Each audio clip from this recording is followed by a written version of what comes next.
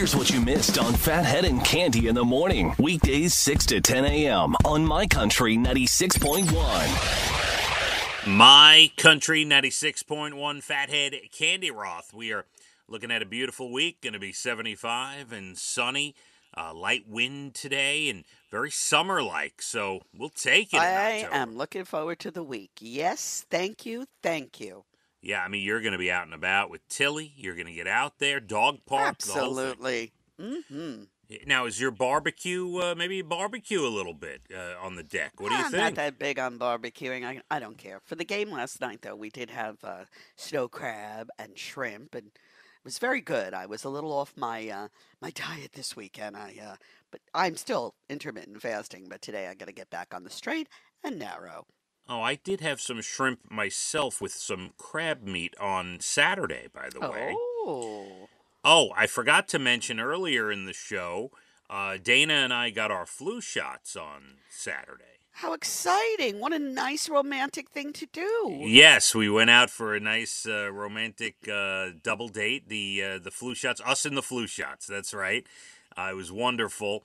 Um, and we held off on the uh, the kids because Abigail is sick, so she couldn't get it, and Leah has a full week, like four days of tennis, and I'm like, and it's the final week, like the county tournament and like three regular matches and all these things. I'm like, we cannot give her the flu shot uh, this week just in case she has a reaction to it. So Yes, we yes. and and the fact that his sisters weren't getting it, Elijah was held off until his sisters. yeah, he's like, listen here. Okay, I'll see you all later.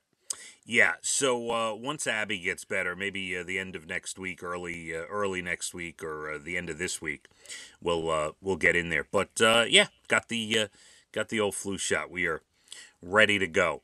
Uh, Cande, a woman named Emma McGinnis in 2019 was on a 30th birthday trip with her family to Disney World. She was at uh, the a slide called Humunga Kowabunga. Munga Kowabunga. That's what it's called in Disney's Typhoon Lagoon water park. This particular slide is a 214 foot slide with a five story drop, and they usually make you cross your legs to avoid what happened to this woman, Emma McGinnis. Oh, oh, oh. Um, the lawsuit claims Disney didn't make it clear just how important this was. So, near the end of the slide, Emma briefly got airborne and hit the pool at the bottom so hard it gave her, try not to laugh because this is serious, it gave her a life altering wedgie that, Life altering wedgie. that damaged organs Oh so much so she needed to go have surgery afterwards. Wow. And she has finally uh, filed the lawsuit. I don't know what took so long or what happened. COVID or I don't know exactly why it's four years later. wow. Um, she's seeking uh, coverage for mental and physical anguish, hospital bills, loss of earnings. Um, she claims Disney should have been more upfront with her and other people about the risks of this slide. Um, I don't think she's going after enough money. This is Disney. She's only seeking fifty thousand dollars. wow. I don't. I don't know about that. But have you ever uh, uh, been on a ride or seen anyone uh, get so Never. injured? Never. First of all, I do very. I don't even know the last time I got on a ride. But that being said, no, I've never seen anyone get injured with a wedgie. I'm Ye- sorry to say. Yes, so Emma McGinnis is uh, is suing Disney. All right, here's the uh, the one we need to debate on a little bit. Um, the UK is now banning phones in classrooms I to think help that's brilliant. right to help kids focus. Okay, um, a new poll. I did see a couple of schools. I forget where I read one.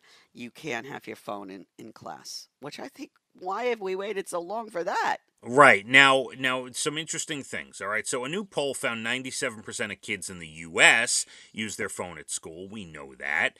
Um, the UK has now banned phones in classrooms. Now, here is the issue some parents are having with it, and this is where the debate comes from. On the surface, I agree. Put the phones down, learn something.